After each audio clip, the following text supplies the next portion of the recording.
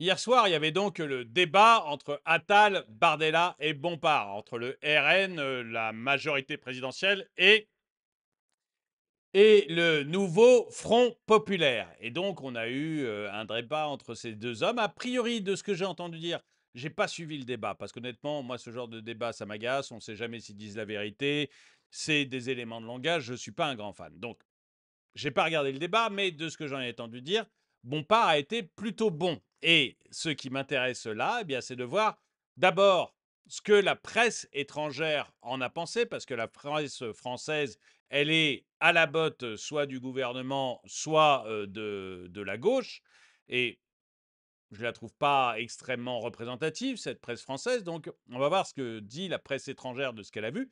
Et puis, et puis, et puis, ce qui m'a intéressé, c'est surtout la façon dont ça réagit sur Twitter. Et on va voir ensemble que bah, sur Twitter, sur Twitter, les gens ont bien aimé Bompard, a priori. Je, suis surpris parce que pour moi, je, Bompard, c'est pas le couteau le plus aiguisé du tiroir, mais a priori, euh, il a plu, il a été bon. Vous pourrez me dire, vous, ce que vous en avez pensé. En tout cas, bah, bonjour, bienvenue dans cette vidéo de DME en direct. Comme toujours, si vous n'êtes pas abonné, eh ben, je vous suggère de le faire et de cliquer sur la cloche pour être prévenu lorsque je sors une nouvelle vidéo. Et avant de démarrer, bah avant de démarrer, vous voyez ce des sous-sous dans la popoche, vous voyez euh, ce mug, euh, je suis un peu énervé. Euh, bah, je vous les montre parce que je vous montre aussi le dessous de mug tiens, que, j'ai. Je m'énerve pas, je m'exprime. Je vous le montre parce que sur la boutique actuellement, vous pouvez trouver donc des dessous de mug, des mugs, des polos, des t-shirts, des casquettes, des magnets, des autocollants, des suites, il y a des bavoirs pour bébé, il y a des sacs de sport, il y a vraiment énormément d'articles. Je crois qu'il y a plus de 80 articles différents avec des punchlines de DME. Et quand vous allez sur la boutique et que vous achetez quelque chose, bah, ça rend service à la chaîne. Je préfère ça à un Tipeee, qu'est-ce que vous voulez. Ça rend, c'est plus dans ma, mentalité, ça rend service à la chaîne. Et en plus, bah, c'est des produits qui sont d'hyper bonne qualité, que moi j'utilise très régulièrement, que j'achète pour mes enfants. Et tous ceux qui m'ont envoyé des, messages par mail m'ont toujours dit qu'ils étaient hyper contents des produits qu'ils avaient achetés. Encore hier, dans le direct, il y a quelqu'un qui a fait un témoignage rapide qui venait de recevoir son polo et son mug et qui était hyper content. Je crois que c'était avec le nouveau, le nouveau slogan Le socialisme tue. Bon. Donc voilà. Et si je vous raconte tout ça, eh bien, c'est parce que, d'abord, pour aller dans la boutique, vous cliquez en dessous. Là, vous avez dû voir le polo, le mug apparaître. Sinon, vous allez bah, sur la chaîne YouTube ou sur dromaeconomy.com. Et dans les deux cas, c'est l'onglet boutique. Et si je vous parle de tout ça, bah, c'est parce que jusqu'à dimanche, jusqu'au 30 juin, je vous offre la livraison. Alors que vous achetiez un autocollant ou que vous achetiez l'équipement complet euh, du, euh, DME, eh ben, je vous offre la livraison, même chose que vous soyez en France ou au Canada ou à l'autre bout de la Terre, je vous offre la livraison. Donc, euh, n'hésitez pas à aller sur la chaîne. C'est jusqu'à dimanche, jusqu'au 30 juin, que la livraison est offerte. Mais allons voir donc ce qui s'est passé, ce qui s'est passé hier lors du débat entre Attal, Bardella et Bompard. Donc, vu de l'étranger, Attal, Bardella, Bompard, un débat tendu et pas à la hauteur. Donc, ça démarre mal. On peut dire que ça démarre pas bien. Hein. donc, c'est bien de courrier international. Je vous ai mis le lien dans la description. S'il n'avait pas été trois, on aurait pu penser à un débat de second tour de présidentiel, commente Le Soir le quotidien belge, a observé une grande tension lors de la joute télévisée entre Gabriel Attal, Jordan Bardella et Manuel Bompard, à la mesure de l'enjeu né de la dissolution du choc de l'Assemblée nationale. Bon, on verra tout à l'heure euh, quelques extraits quand même, quelques moments un peu hein, que les, tweetos ont jugé euh, importants et euh, les réactions des, des tweetos. Donc, les représentants des trois blocs politiques se sont activés, notamment sur la défense du pouvoir d'achat et les retraites. Les retraites, je suis en train de préparer euh, une vidéo qui va sortir sur ma chaîne principale, Droma Economy, euh, qui va sortir, il me semble. Je ne sais plus si c'est vendredi soir ou dimanche. Mais sur ma chaîne principale, Droma Economy, euh, je peux vous dire que les retraites, vous avez des sacrés soucis à vous faire. Des sacrés soucis à vous faire. Ça va pas bien se passer du tout. Donc, je vous conseille de, de bien vous armer sur les retraites. Quelle que soit, quelle que soit la personne qui passe, hein, quelle que soit la personne qui passe, hein, c'est pas, il y en a qui vous promettent la lune, ça évidemment vous l'aurez pas, mais même ceux qui vous promettent que ça n'ira pas trop mal, ils se trompent. hein. Allez voir, ma, voilà, voilà, Droma Economy, ma chaîne principale, et euh, je sais plus si c'est vendredi soir ou dimanche soir, mais il y aura une, une vidéo spéciale là-dessus et ça sent pas bon. Le niveau des échanges n'a pas été à la hauteur du choix que s'apprêtent à faire les Français et qui déterminera aussi l'avenir de l'Europe. Faute de temps, la place de la France dans le monde n'a même pas été évoquée, s'étouffe le journal. Donc ça, c'est le journal Le Soir qui nous dit ça, donc qui n'est pas très content. Attal se démène, Bardella très sûr de lui. Bah, Bardella, il sent la victoire, hein, donc il est, il assez cool. Ceci dit, encore une fois, hein, pour, pour Bardella, le groupe sera probablement le plus important de l'Assemblée nationale. Ça semble évident. Mais s'il n'y a pas la majorité, ça ne sert à rien d'avoir un groupe aussi important. Je veux dire, si Bardella devrait faire gaffe, parce que s'il n'a pas la majorité, ma foi, ils iront planter des fraises quoi, pendant, pendant trois ans. Ils ne pourront rien faire. Donc, donc voilà, il faut. L'enjeu pour lui, à mon avis, est fort. Quoi. Il a vraiment intérêt à obtenir la, la majorité. Donc, le soir retient que l'actuel Premier ministre s'est démené face à ses adversaires. Il a renvoyé dos à dos ses deux challengers, les accusant de promettre la lune aux électeurs sur le pouvoir d'achat et le reste de leurs programmes économiques. Je pourrais faire des promesses comme mes concurrents, sauf que je suis Premier ministre, je dispose d'un plan sérieux et crédible. Alors là, je ne suis pas tellement d'accord, parce qu'honnêtement, euh, il y a eu des promesses, on va baisser le prix de l'électricité, on n'augmentera pas les impôts, gna gna gna, on va suivre l'inflation pour les retraites. Tout ça, c'est du bullshit. Tout ça, c'est du bullshit. Donc, il est sérieux, il est peut-être moins, il promet peut-être moins que le nouveau Front populaire, mais j'irai pas jusqu'à dire qu'il est sérieux. Loin de là. Loin de là.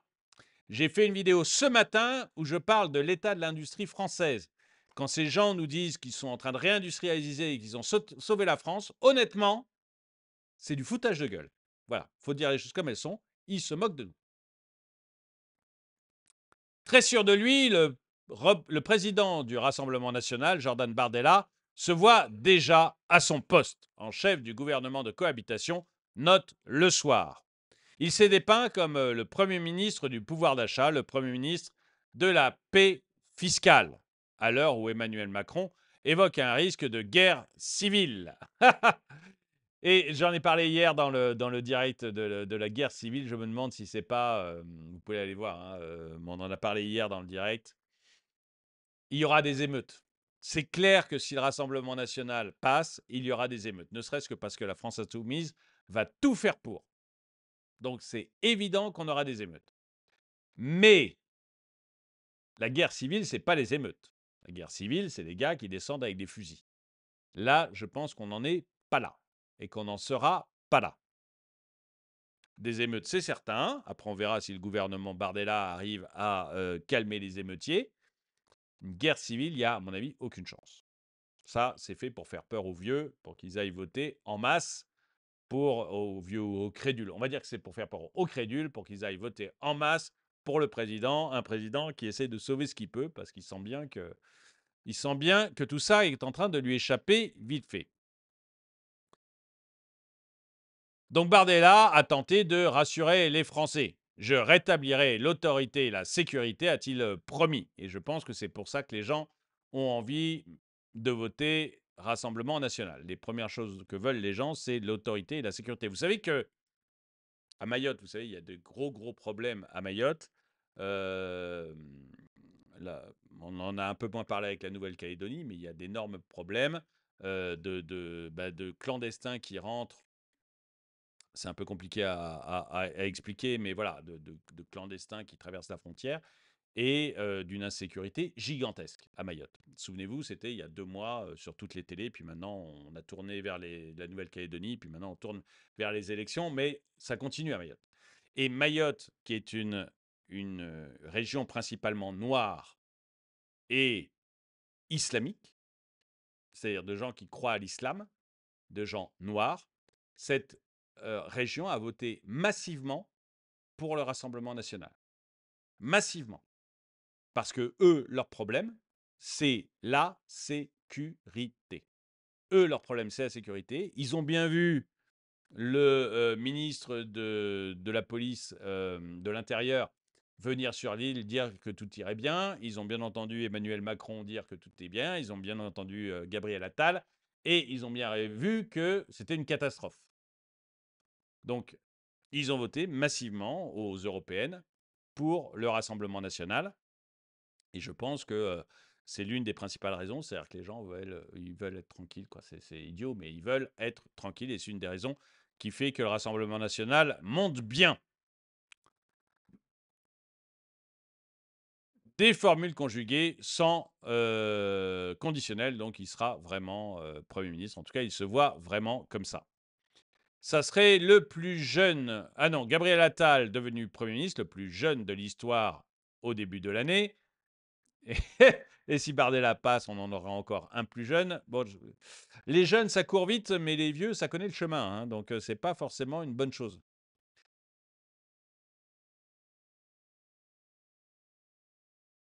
Emmanuel Bompard, du nouveau Front populaire, a rappelé aux électeurs que la gauche n'avait pas encore décidé qui la dirigerait si elle remportait le scrutin. Et ça, c'est le fameux problème qu'ont les, insoumis, où euh, on a euh, un Jean-Luc Mélenchon qui est un peu un, repoussoir pour beaucoup de, pas pour des insoumis, mais il est un repoussoir pour des socialistes, par exemple, modérés. Ils se disent on on veut pas de ce gars-là comme Premier ministre. Et du coup, on a, tout un travail actuellement des insoumis sur deux points. Un, c'est pas sûr que ce soit Jean-Luc Mélenchon qui, soit Premier ministre. Rassurez-vous, bonnes gens, c'est pas sûr. Et deux, on n'est pas antisémite. Voilà, c'est les deux axes de bataille actuellement de, de la France insoumise parce que c'est deux points sur lesquels ils sont très très attaqués. Aucun, donc ça c'était sur CNN aucun ne semble avoir réussi à frapper un grand coup. Donc, euh, aucun des trois candidats ne semble avoir réussi à frapper un grand coup ou faire euh, suffisamment la différence pour influencer les opinions des électeurs. De toute évidence, Gabriel Attal a fait la démonstration qu'il possédait mieux ses dossiers que ses adversaires, dit le soir, avant d'objectiver que cette maîtrise pourrait n'avoir aucune incidence sur les résultats du 30 euh, juin au 7 juillet. Lors d'un duel euh, Attal-Bardella avant le scrutin des européennes, le chef du gouvernement avait déjà plié le match au dire de tous les observateurs. Cela n'avait fait perdre qu'un seul point au candidat de l'extrême droite dans les sondages. Moi, je me souviens qu'effectivement, sur Twitter, à ce moment-là, tout le monde disait, je lisais partout, Attal a été fantastique, il a complètement explosé Bardella.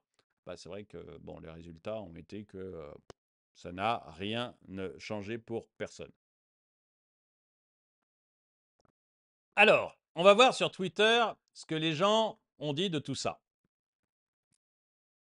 Attal parle des vêtements des jeunes filles, Bardella du vouvoiement, Bompard compare, euh, parle du manque de professeurs, euh, des enfants qui arrivent à l'école le ventre vide et du prix des fournitures scolaires.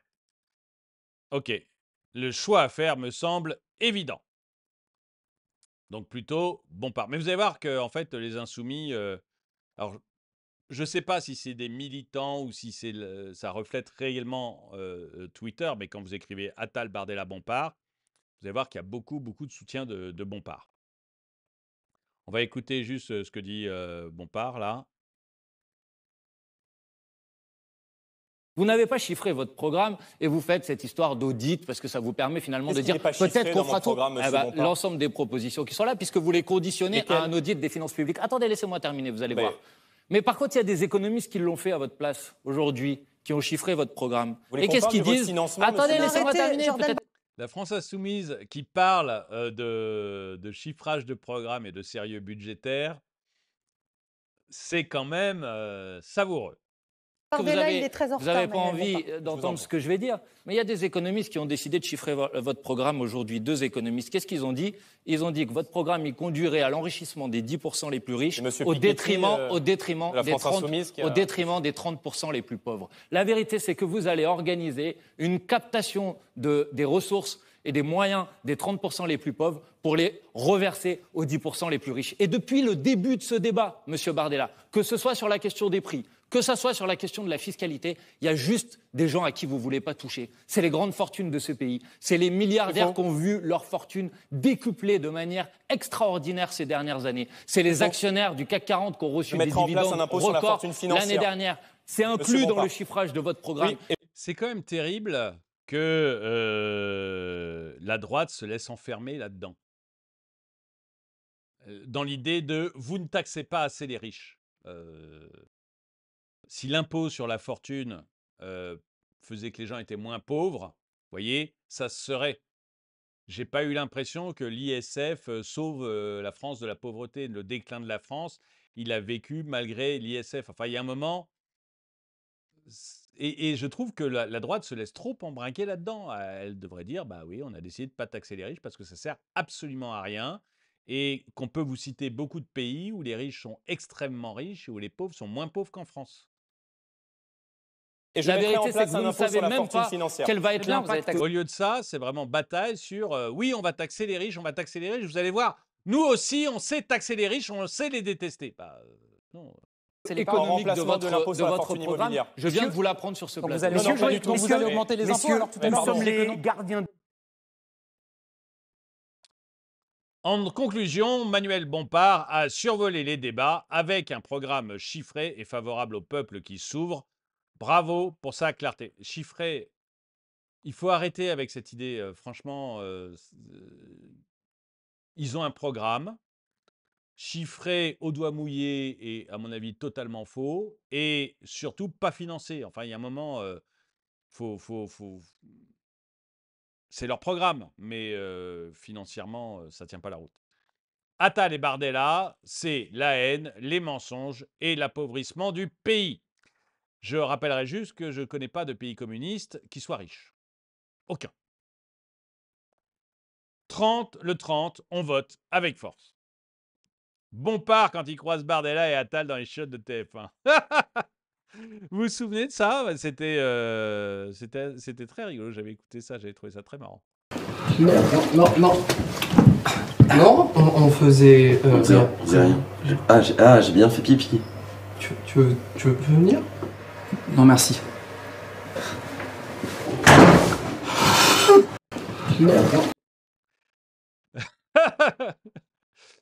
TF1, ayez honte, vous mettez des sous-titres pour les sourds et malentendants correctement quand c'est Attal et Bardella, et par contre pour mon part, c'est retranscrit à la moitié, voire un tiers de ce qu'il dit.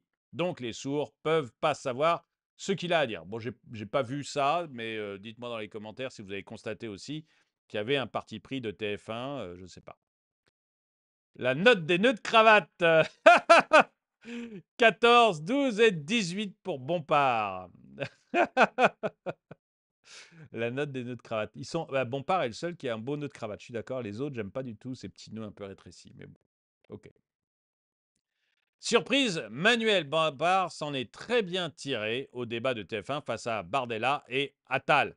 Et c'est vrai que c'est quelque chose qu'on peut voir assez généralement. C'est-à-dire que tout le monde semble dire que Bompard s'en est bien tiré, alors que franchement, franchement, c'est pas quelqu'un que pour qui j'ai de la sympathie ou même pour qui je pouvais penser qu'il s'en tirerait face aux deux autres. Mais Attal et Bartella qui se battent pour savoir qui est le plus nul pendant que Bompard rayonne. Les deux clowns. Je vous l'ai dit, hein, c'est beaucoup, beaucoup. on voit beaucoup de gens favorables à la, France insoumise et je suis pour rien. Je n'ai pas un compte France insoumise. Hein, ça, m'est arrivé comme ça. La manière dont Emmanuel Bompard éteint Bardella et Attal, les deux pseudo-journalistes qui essaient constamment de l'interrompre pour, sur l'immigration, est magistral, clinique et précis. Qu'est-ce qu'il nous dit sur, l'immigration? D'abord, je vais amener un petit peu de, de raison dans ce débat parce que Déjà, dès votre intervention, euh, Monsieur Bardella, vous avez établi un certain nombre de contre-vérités. Vous savez, il y a 19 millions de Français qui ont un ancêtre étranger. C'est un Français sur quatre. Oui, j'en ai moi-même Peut-être, euh, beaucoup d'ailleurs. Vous en avez vous-même d'ailleurs. Parfaitement. Et je dois vous dire, Monsieur Bardella, que quand euh, vos ancêtres personnels sont arrivés en France, je crois que vos ancêtres politiques disaient précisément la même chose que ce que vous dites aujourd'hui. Et je trouve ça dramatique qu'aujourd'hui, vous soyez dans la peau de vos ancêtres politiques de l'époque. Parce qu'on disait la même chose on disait que les Italiens ne pouvaient pas s'intégrer en France. On disait que les Espagnols ne pouvaient pas s'intégrer en France. Politiques, ils et on a construit. Hein. et on a construit. Le patron du parti communiste, et on a construit, très opposé à l'immigration parce que ça faisait de la Bardella, pour les travailleurs français. Et on a construit ensemble ce beau pays qui s'appelle euh, la France. Et on l'a construit grâce aussi à ces vagues d'immigration. Et vous savez, aujourd'hui, par exemple, il y a un travailleur sur dix dans ce pays qui est un travailleur euh, immigré. Eh ben, je vais vous dire, plutôt que de les dénigrer de manière systématique, je pense pas que le problème, ce soit les travailleurs immigrés. Je ne pense pas qu'on soit fâché contre les gens qui bossent, qui, qui, quel que soit leur métier d'ailleurs, mais je ne crois pas que le problème que les Français ont avec l'immigration, c'est les travailleurs immigrés. Je rappelle juste aussi que l'immigration, d'après les chiffres du ministère de l'Intérieur, c'est l'immigration de travail, c'est 13% de l'immigration. 13%, c'est très faible par rapport au, reste. Hein. Donc l'immigration de travail, c'est 13%, et je ne pense pas du tout que c'est ce qui pose problème aux Français. Mais dites-moi ce que vous en pensez dans les commentaires, mais moi, je ne crois pas que ce soit là qu'on ait un souci. Vous devriez les remercier. Vous devriez les remercier parce qu'en vérité, ils occupent des emplois qui sont bien souvent essentiels à la vie de la nation. Que contrairement à ce, vous, à ce que vous dites, les immigrés en France, ils ne coûtent pas de l'argent, ils rapportent de l'argent. Sur les... Alors ça, je suis beaucoup plus en doute dernières années, sur les dix dernières années, il a été établi par l'OCDE que l'immigration rapporte chaque année 10 milliards d'euros. Bah, augmentons l'immigration alors. Monsieur, monsieur, monsieur Attal, je ne suis pas en train de vous dire Bardella, Pardon, on a une notion très différente de l'immigration. Bon, pas tout à fait. Vous avez voté ensemble. Vous avez voté ensemble la même loi. Vous avez voté ensemble la même loi sur l'immigration. Maintenant, je vais vous dire quelle est ma logique politique. Ma logique politique, d'abord, c'est de dire qu'on ne part pas de son pays par bonheur, par plaisir, quand on est arraché à sa terre, à sa famille, là où on a grandi. Et donc, la première chose à faire, c'est de s'attaquer aux causes des migrations, de faire en sorte qu'il y ait moins de gens qui aient besoin de partir. Et ensuite, oui, Monsieur Bardella, j'assume de vous dire que quand une personne arrive en France, on doit l'accueillir dignement. On a été capable, Monsieur Bardella, Monsieur, Bardella, on a été capable d'accueillir dans des très bonnes conditions 110 000 réfugiés ukrainiens. Et ça, c'est très bien. Bon, je ne sais pas ce qui. Puis, même chose, je ne crois pas que ce soit les réfugiés ukrainiens sur lesquels les Français ont des problèmes. Mais bon, euh, je peux me tromper. Dites-moi ce que vous, ce que vous en pensez, hein, si vous le trouvez bon euh, là-dessus. Mais enfin, je le trouve bon dans le sens où il a une bonne logorée. Mais euh, même chose, c'est pas. Je ne crois pas que ce soit l'immigration de travail qui pose problème. Je ne crois pas que ce soit les réfugiés ukrainiens qui posent problème. Je peux me tromper. Mais je n'ai pas entendu parler d'un réfugié ukrainien qui attaque des gens dans la rue avec un couteau au cri de Jésus est ressuscité. Donc j'ai un doute. Oui, parce que l'Ukraine est, chrétienne. Hein. Donc voilà, j'ai un petit doute. oui, donc après, il passait esprit criminel. Donc vous voyez encore un truc qui semble montrer que Bompard a été très très bon. Je, franchement, dites-moi, hein, vous, si vous avez vu le débat, dites-moi si vous avez trouvé Bompard euh, excellent par rapport aux autres. Maintenant, je me méfie, puisqu'on m'avait dit qu'Attal avait été brillant au dernier débat contre Bardella, et qu'en fait, ça n'a rien changé. Donc, euh, je, me méfie. Un petit mea culpa de Bruno Le Maire qui s'est dit bah, on n'a peut-être pas été bon si les extrêmes sont en haut. Merci Bruno, c'est gentil. On le passe maintenant, on n'en parle même plus de Bruno. on parle même plus de ça. Alors, euh, qu'est-ce qu'on a d'autre? Bardella demande un audit des comptes publics. Ça s'appelle le rapport de la Cour des comptes. Je peux vous l'envoyer si vous le voulez. Donc ça, c'est ce qu'a dit à un moment Gabriel Attal pour, euh, pour, euh, pour faire taire Bardella. bah, à, deux petites choses près. D'abord, les audits faits par la Cour des comptes, ils ont un peu de délai. Ce n'est pas, pas les audits directs. Et ensuite, je ferai juste remarquer à Gabriel Attal que c'est le Sénat qui a mis en doute la réalité des comptes. C'est pas, c'est le Sénat qui a dit qu'on avait caché des choses graves. Donc voilà, après, après ce que dit le Sénat, demander un audit des comptes me semble pas une folie. Voilà. Dites-moi aussi ce que vous en pensez, mais c'est l'impression que j'ai. Gabriel Attal et ses amis ont décidé l'année dernière, contre l'avis d'une immense majorité de Français, contre l'ensemble des syndicats de salariés et contre la majorité des députés, de nous voler deux ans de notre vie en nous imposant la retraite à 64 ans. Monsieur Bardella a d'ores et déjà trahi sa promesse d'annuler immédiatement cette réforme, mais parce qu'il n'y a pas le choix en fait. Et le nouveau Front populaire annulera dès le mois de juillet la retraite à 64 ans, ce qui permettra au FMI de s'installer en France dès août. Non, en fait, sérieusement, il n'y a, pas le. Enfin, regardez la vidéo, je, suis quasiment sûr qu'elle sort dimanche soir, la vidéo que j'ai faite sur les retraites. Il n'y a pas le choix. Hein. Euh, euh, il y a eu un nouveau rapport qui est sorti. Euh, c'est pas la fête au village, quoi. Il y a, vraiment pas le choix. On a un énorme problème sur les retraites. C'est beaucoup plus important que ce qu'on pensait, d'après le rapport du corps, hein, pas le Conseil d'orientation des retraites. Euh, dire on va revenir euh, à la retraite à 62 ou à 60 ans, c'est complètement irréaliste. Hein. Donc, euh, donc voilà. Bompard peut dire ce qu'il veut. Ils ne reviendront pas là-dessus parce que ce n'est pas possible. Techniquement, c'est pas possible. Et les sommes en jeu sont titanesques bon, je ne vais pas faire toute ma vidéo maintenant, mais, mais voilà, il ne faut pas, faut pas y croire. Bardella et Attal, mais il y a vraiment que des trucs d'insoumis. Il y a vraiment que des tweets d'insoumis, je sais. À mon avis, ça doit tirer à boulet rouge en nombre de tweets chez les insoumis pour réussir comme ça à occuper toute une timeline Twitter. Bardella et Attal profondément malaisés sur le plateau de DF1 après un tacle de Bompard. Monsieur Bardella, vous ne voulez pas toucher aux milliardaires.